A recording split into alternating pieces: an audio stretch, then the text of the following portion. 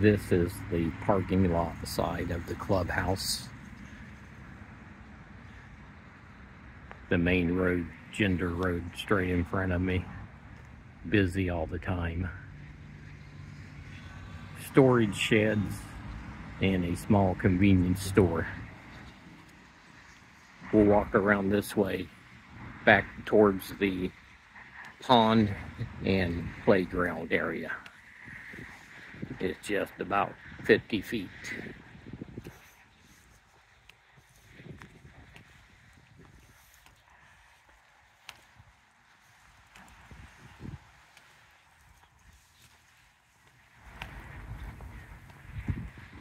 This is actually the main entrance to the park.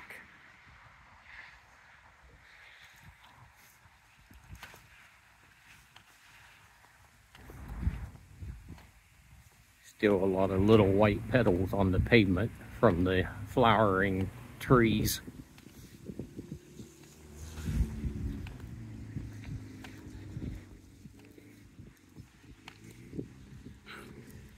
About another month and the pool should be open.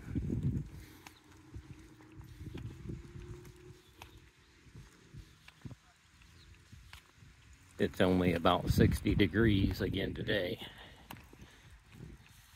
with a little chilly breeze.